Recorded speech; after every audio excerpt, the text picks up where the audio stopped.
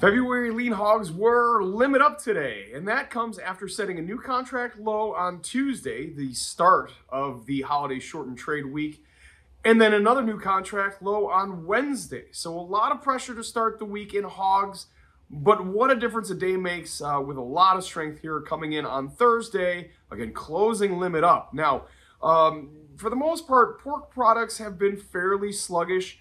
There were some higher um, higher cutouts traded today, uh, but some of the products still remain lagging behind. Ribs were slightly higher, but hams were down quite a bit.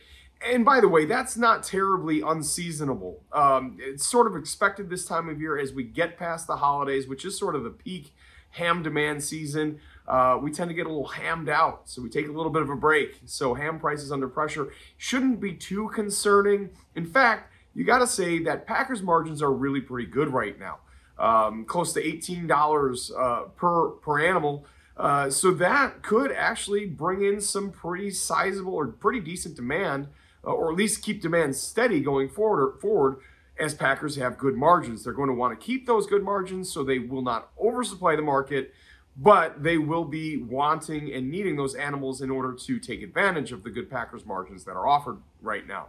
Now, uh, we do have to pay attention to what happens tomorrow. Uh, hogs have this um, sort of history of having reversals and then reversing the opposite way, or, or whether we'll follow through to the upside or not, I think will be a very big question here for Friday.